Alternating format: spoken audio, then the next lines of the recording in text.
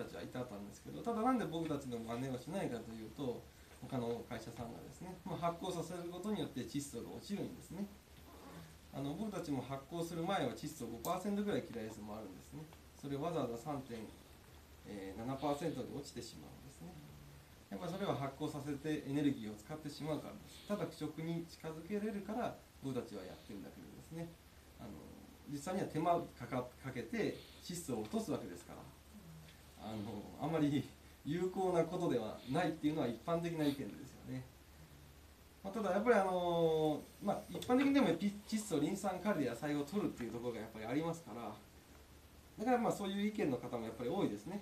だからまあキラ勇気っていうのをやっぱり僕たちは作ったわけなんですね。あのその辺が、あのやっぱりどういう考えで作っていくのかっていうところどういう目的で野菜を作っていくのかによってもやっぱり変わってきますね。あのまあ、一般的にやっぱり僕たちはキラエースを元日にしてもらってキラー勇気を追肥してもらうっていうのが一般的にいいです。それはやっぱり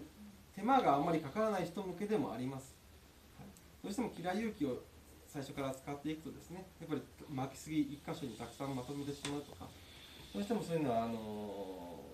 まあ、虫が湧く栄養がバランスが崩れるというのがデメリットなんですね、まあ、例えばキラエースはもともと肥料がないんで、まあ、いろいろたくさん肥料気がないのでたくさんまいてもですね多少巻きすぎ巻きすぎじゃないっていうのが大丈夫なんですけどキラユキは成分が強い分1箇所に集まりやすいっていうところはあのー、巻く機会があってもですねどうしても平等に巻きにくいっ